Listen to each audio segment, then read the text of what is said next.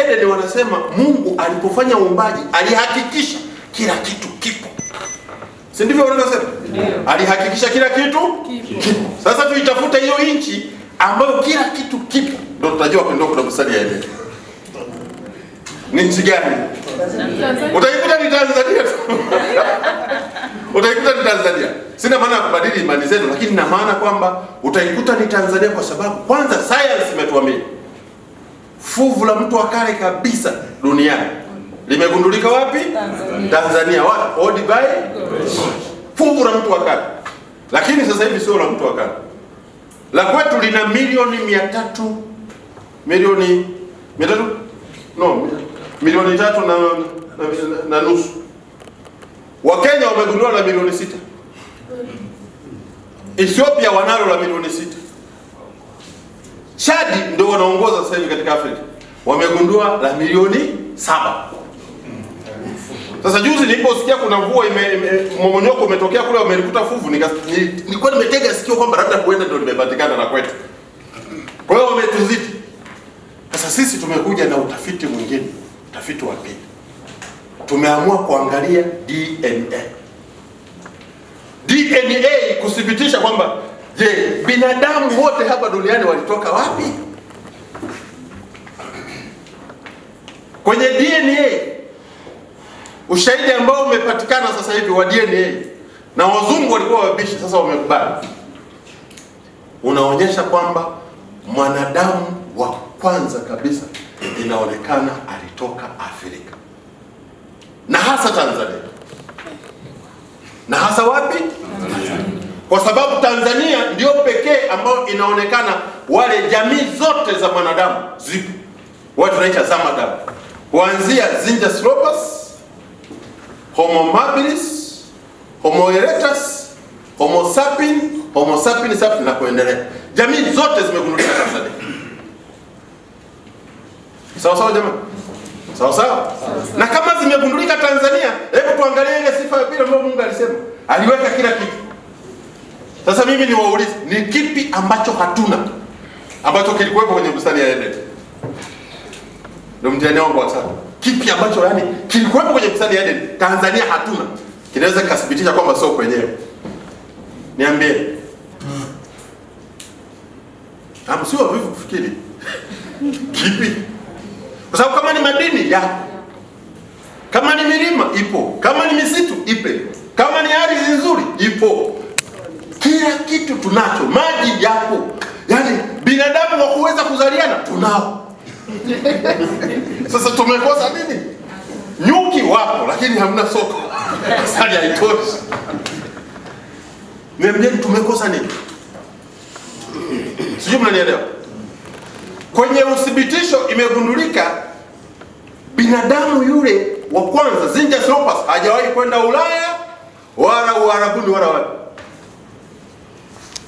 Zinjanthropus alikuwa Afrika na inasadikika alikuwa Olduvai God, lakini kutoka pale Olduvai God Homo habilis naye hakumove mpaka kizazi cha nne ndio kiliweza kumove ambacho kinaitwa Homo erectus. Homo erectus alimove kutoka Olduvai God akaenda nje. Na kwa nini alimove? Kulikuwa na njaa, kulikuwa na ukame mkubwa, kulikuwa hakuna yani mambo me, yani kulikuwa hali mbaya, akalazimika sasa kuondoka. Ndiye aliyehama akaenda Kenya, akaenda Ethiopia, akaenda Misri, akavuka pale pale, akaenda Uarabuni pale miaka ya nyuma pale ile Suez Canal palikuwa pameungana, si mnakumbuka? Si ule tumetengeneza sisi wenyewe. Palikuwa pale aka cross over akaenda Uarabuni, akaenda Ulaya. Na walipotoka Ulaya ndo wameenda Marekani, ndo wameenda Australia, ndo wameenda kila mahali New Zealand, wote walitokea. Homo erectus. Sasa wale walimuvu walipofika Ulaya walikutana na mazingira magumu ya kuishi. Baridi kali baridi kali, joto. Walipokutana na baridi kali ndo wakaanza kugundua hizo hita sijui nini. Walipokutana na joto kali ndo wakaanza kugundua nini, air condition. Sasa wale ambao mnavyo vingi, mtagundua vyote hivyo, kufikiria kuna kwa sababu siliko vingi. na, na mimi labda naamini inawezekana huyu aliyebaki hapa alishindwa kukimbia na akatuzaa sisi, ndio maana walivyokusikia wale walioweza kukimbia ndio wakazaa wale wenzetu. Sasa DNA zimethibitisha, kwa hiyo zinasema wazungu wote, watu wote huko duniani mababu zao wako Afrika na hasa hapa Tanzania, kwa sisi ndio mababu wa wazuri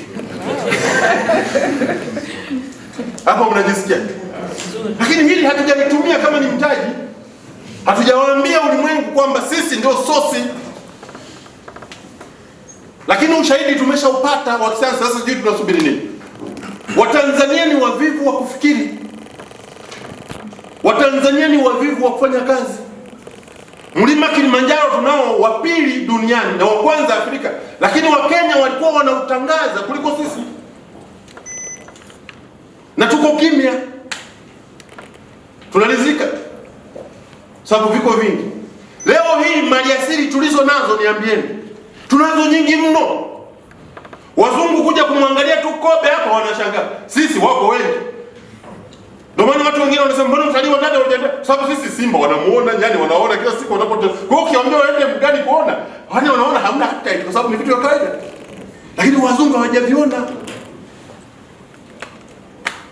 Kwa ndugu zangu, tunayo hiyo kwamba nchi yetu tunayo kila kitu, tumebarikiwa, tumepata kila kitu, lakini bado ni maskini. Bado ni nini? Maana hatujatekeleza wajibu wa Mungu aliyesema, nendeni mkatawale vyote nilizo kwenye bustani ya Edeni. Hatujatumia akili yetu kuangalia tulivyo navyo ili viweze kuleta manufaa yetu. Kwa hii ni changamoto ambayo tunayo.